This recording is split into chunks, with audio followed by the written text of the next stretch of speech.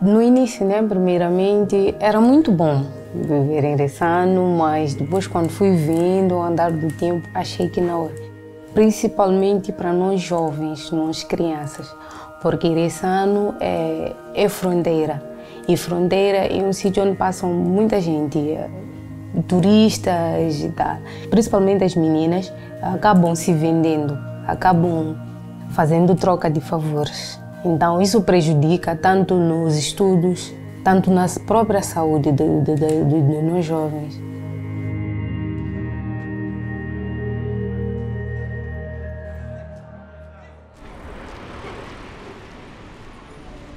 Places like Rosano Garcia have such um, a thriving infrastructure and thriving economy. You have all sorts of different people coming together in this community. You have mine workers crossing um, back and forth, going from Mozambique into South Africa. You have truck drivers, some of whom are staying, some of whom are just traveling through. Then you have people who are there more sustainably. You have people who are there as the community members. And this is where the secondary school where we were working came in.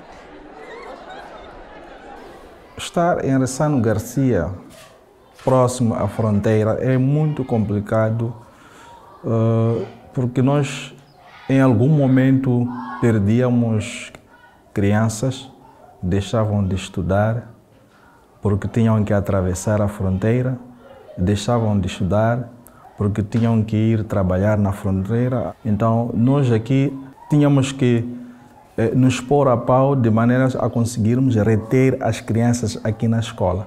Por isso, trabalhamos muito com as palestras, como temos muitos parceiros, como a organização Vocalixile, é, FUNECA, There are some communities that are, by definition, transit communities because you know they're border towns or where there's a lot of the trade and the traffic uh, of goods happens. So it is very important that throughout that transit process, uh, migrants' children continue to access education services. And I think there are innovations on the ground, including um, this project, that show that schools and education system can adapt to include communities in transit. What we have to do and what this project aim to do is make sure that whatever these young women and these students are experiencing, it does not have a detrimental impact on their health and it does not have a detrimental impact on their education outcomes. Talking to the community members, they were noting that there was a big impact of being in this transit area on the education outcomes, particularly of young women and girls, adolescent girls in the school. Some of those girls were engaging in relationships that were taking them away from their studies. And then, of course, some of them were uh, getting pregnant and unable to actually complete their studies. And this, again, had a knock on impact on the community as a whole. O que me levou a procurar o programa foi quando descobri que eu tinha o vírus de HIV. Ah, eu fiquei doente e comecei a ter umas bolas no pescoço. Eu não virava o pescoço. Fui ao hospital, fui fazer o teste e deu positivo. Quando fui fazer o teste, encontrei-me com um amigo. Ele que me levou, veio me apresentar ao programa e fiquei mais informada, porque no momento que eu descobri que eu estava infectada, eu pensei que aquilo fosse o fim. Mas quando entrei no programa, vi que aquilo não é o fim. Desde o momento que eu cumpra com o tratamento, que eu possa tomar os medicamentos, eu posso levar minha vida como eu vinha levando. É bom dizer que é, a, part, a partir da altura em que nós convidamos esses parceiros a dar palestras, conseguimos notar, notar no, nosso, uh, no nosso número, ano após ano, que reduzimos muito as gravidezes e as desistências. É, é diferente de, daquilo que acontecia há anos atrás. Nós conseguíamos matricular 50 alunos, e só chegávamos ao fim do ano com 25. Então, é importante os parceiros. In the case of somewhere like Crisano Garcia, through addressing the linkages between migration, mobility, and education, we can better ensure a whole generation can meet their development potential.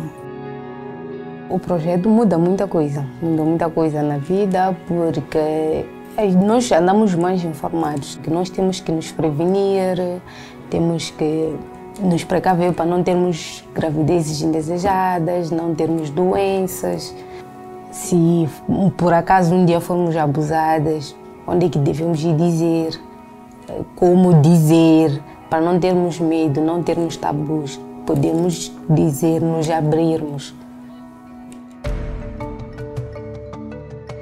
One thought, of course, is that the students of today can be the teachers of tomorrow, the entrepreneurs of tomorrow. So, as this project also demonstrates, investing in the education of those who are today on the move means that tomorrow they can contribute to their societies by, for example, becoming teachers or giving back to their local communities by setting up a business. And so, to always think about education and an investment in the future, and not just for the migrants themselves, but for the communities that host them, because this is really a win win where there are benefits for all? Ah, eu quero me formar, sair para fora, ser médica, estudar mais para eu poder salvar vidas, como eu disse. E gostaria de fazer uma casa para minha mãe, eu que sempre quis fazer uma casa para minha mãe, cumprir com os meus sonhos.